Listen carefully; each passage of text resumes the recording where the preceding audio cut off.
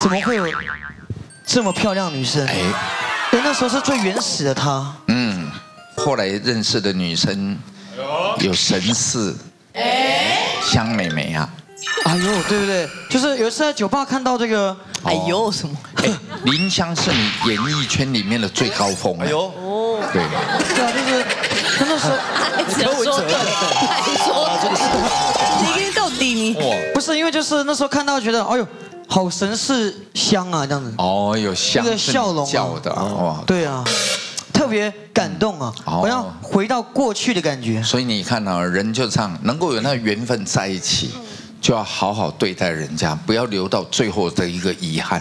对不对？对，很重要北湖啊，北湖啊，哎。但是我们要往前看，没关系。情感面呢，就要像宪哥一样，哦，四个字，好吧，那是不是我说的，他们两个都能说，就那四个字，一杯，不会开是始。家贫如潮吧？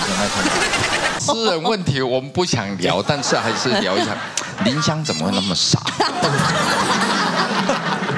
我跟他聊，我跟他他说我不知道当时头问就就你是有用你是有用药的啊，对啊，那时候有缘分嘛。哦缘分对呀这个是哦什么缘分？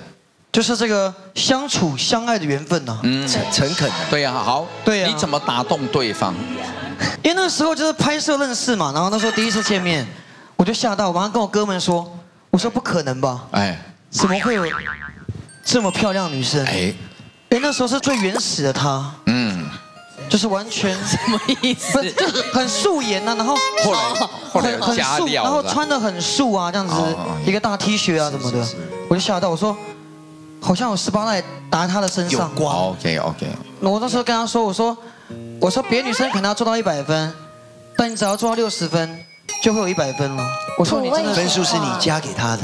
不是？我说你太无敌了。其实蛮诚恳的哎，是吗？有吗？还还女生听到这个 OK 吗？真的哦？不是，我是真的吓到哎，。女人很容易被灌迷很容易被汤。骗啊。对呀对呀。